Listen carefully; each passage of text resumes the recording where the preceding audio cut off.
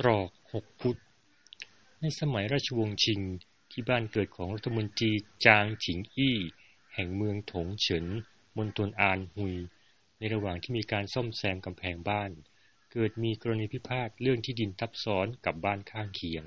ตกลงกันไม่ได้ว่าที่ดินที่โต้เถียงกันเป็นของบ้านใครกันแน่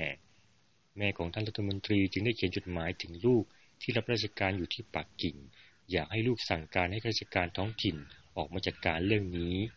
หลังได้รับจดหมายจากแม่แล้ว ท่านรัฐมนตรีจึงได้ตอบจดหมายถึงแม่ ความว่า จดหมายมาไกลเพียงเพราะเรื่องกำแพง อย่าใจแข็งถอยสักสามพุทธจะเป็นไรกำแพงเมืองจีนทุกวันนี้ยังยิ่งใหญ่ แต่ฉไหนจึงไร้เงาจินซีห้องเต้หลังจากแม่ได้อ่านจดหมายที่ลูกส่งมา จึงตัดสินใจย้ายแนวกำแพงถอยห่างเข้ามาสามพุทธ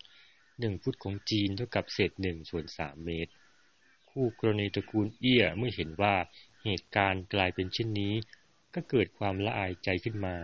ก็ถอยแนวกำแพงร่วมของบ้านตนร่นเข้าไปสามฟุตเช่นกัน ระหว่างบ้านทั้งสองจึงกลายเป็นตรอกกว้างหกฟุตที่ผู้คนใช้สัญจรได้ เหตุการณ์ดังกล่าวได้ล่วงรู้ไปถึงจักรพรรดิคังชีในเวลาต่อมา พระองค์ทรงประทับใจในความเอื้ออาทร และการรู้จักมีความอลุ่มอล่วยต่อกัน อยากให้เป็นแบบอย่างที่ดีของประชาชนทั่วไป จึงทรงรับสั่งมีการสร้างหลักหลักจารึกคำว่า เอื้ออาทรไปประดิษฐานอยู่ที่บริเวณปากตรอก จนกลายเป็นที่มาของตรอกหกฟุตอันโด่งดัง และกลายเป็นแหล่งท่องเที่ยวเชิงประวัติศาสตร์อยู่จนทุกวันนี้ หลักจารึกดังกล่าวได้รับการบูรณะใหม่ในปี 1999 ตัวอักษรสองตัวคำว่าเอื้ออาทร ก็ยังคงถูกจารึกอยู่เหนือซุ้มประตู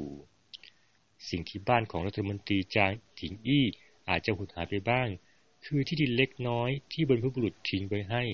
แต่สิ่งที่ได้มาคือ ความสงบสุขระหว่างเพื่อนบ้าน และชื่อเสียงความเป็นแบบอย่างที่ดีที่ลือไกลทั่วปัตภีในชีวิตของเรานั้น ความเอื้ออาทรเป็นพลังที่แข็งแกร่งไม่มีวันสูญหาย เพื่อนฝูงที่รู้จักมีความเอื้ออาทรต่อกัน จะเป็นมิตรภาพที่ยั่งยืน สามีภรรยาที่รู้จักอารมณ์อร่วย ให้อภัยต่อกัน จะอยู่คู่กันจนชั่วฟ้าดินสลายขจรศักดิ์แปลและเรียบเรียง 27 เดือน 7 ปี 2017